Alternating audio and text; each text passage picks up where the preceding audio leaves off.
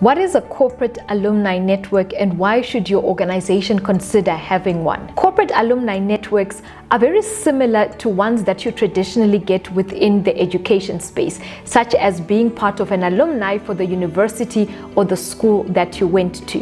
It is a structured process where an organization creates an intentional network with individuals that have left their company. And this is, of course, typically individuals that left on a good note and ones that you would be glad to have back in your environment at some point in the future. When some employees leave, especially those that are in critical roles, there may be a situation where genuinely the company cannot give them the development or what they're looking for at that particular time. So, in allowing them to pursue other opportunities, get exposure to new organizations and new skills within the industry. Having a corporate alumni network that engages people that have left your organization in various ways is a great way to keep connected with those individuals. And more importantly, a way to build a pipeline of boomerang talent that you would want to come back.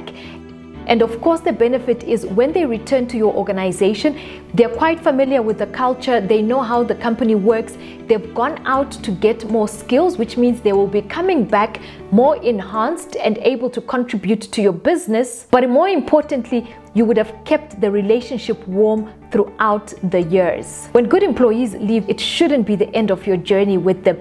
Having a structured corporate alumni network is going to ensure that you have a structured way of keeping in touch, and more importantly, you can bring them back, especially as part of your talent building process. Get in touch with me if you'd like to discuss more of this or any of your talent management issues.